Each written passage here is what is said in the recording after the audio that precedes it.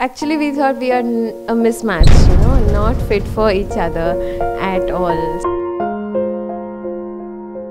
I believe in friendship.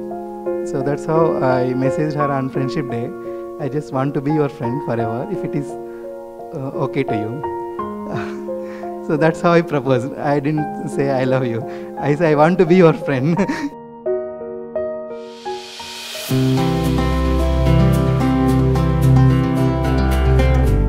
Harika is a Sangha Kyulu Maitreya under the guidance of Dr. Newton Kondaveeti and Dr. Lakshmi Newton, the founders of QLU. She discovered her life's purpose and began serving QLU for over a decade. Pavan is a relationship coach who believes that happy marriages are the foundation of a good world and that couples must work on their inner child traumas. What was that pull that made you decide taking step together as uh, partners for life?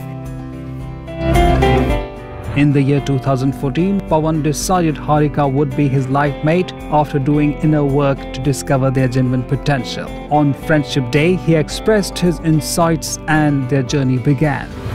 This is real pyramid marriage and two perfect pyramid masters. Okay, nothing can be uh, a, a greater uh, event than this.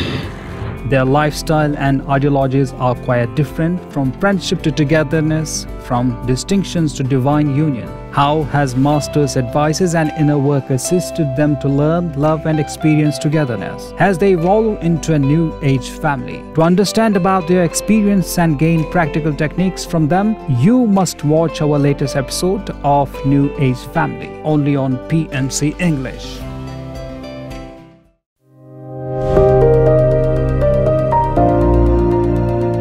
you